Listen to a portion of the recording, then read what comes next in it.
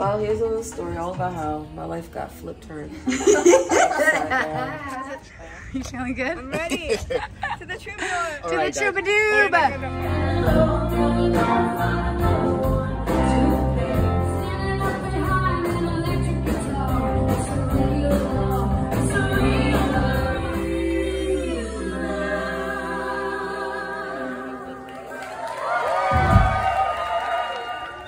We're making a video.